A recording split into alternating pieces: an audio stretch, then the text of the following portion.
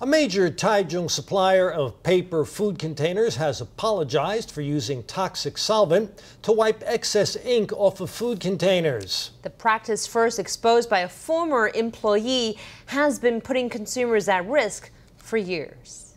代表公司向社会大众道歉，一起攻。 Taiwan's fourth largest manufacturer of paper containers, Huang Guan Special Printery, saw its general manager appear in front of the local media and apologized nearly a dozen times today. He apologized for the use of the toxic solvent toluene to clean excess ink from paper food containers. During the manufacturing process, some products had a little ink at the top. This was a small portion, which caused a lot of worries.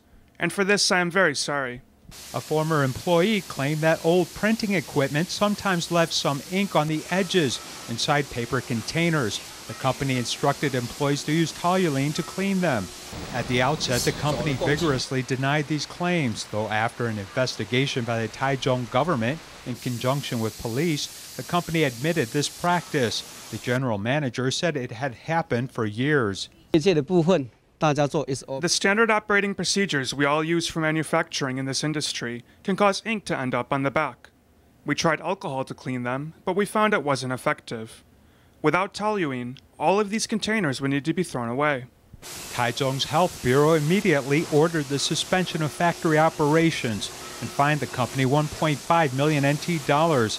If consumers can prove these toxic food containers caused organ damage, they can make a complaint to the Consumer Protection Committee, which could take a class action suit against the company.